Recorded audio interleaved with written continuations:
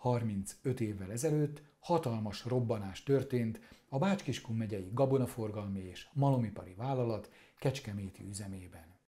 A 22 ezer tonna gabona tárolására alkalmas 12 emeletes vasbeton silóban a detonáció bekövetkeztekor karbantartási munkák folytak.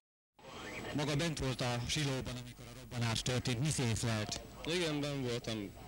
Több detonációt is, ahol voltunk benne abban a műhelyben, egy hatalmas lángcsóva jött be, bevágott minket a sarokba és rohantunk kifele.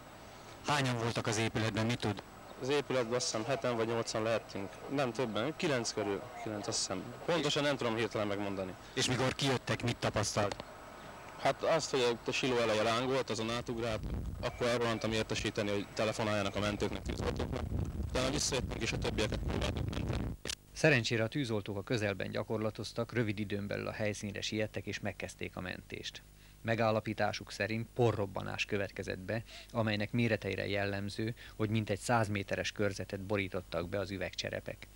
Szerencsére a siló és a benne tárolt gabona nem károsodott. Sajnos a balesetnek áldozatai is voltak.